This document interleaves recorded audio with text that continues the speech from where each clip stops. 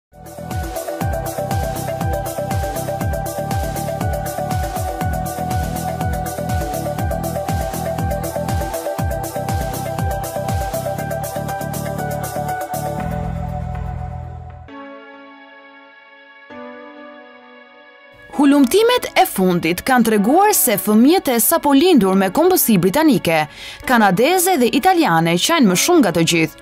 Kërkimet nga Universiteti i Warwick në Angli treguan se të qarat e bebeve të porsalindura ndryshojnë nga një vend në tjetrin.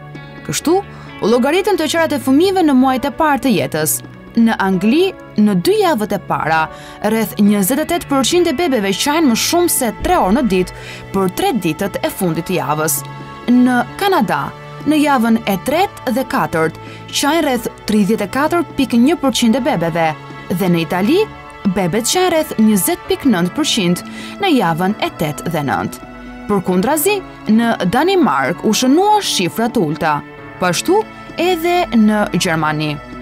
E qara në përgjithësi mund të zgjasë rreth 2.15 minuta në ditë në javën e 6 dhe më pas pakësohet në një shifër prej 1 minutë e 10 sekonda në javën e 12.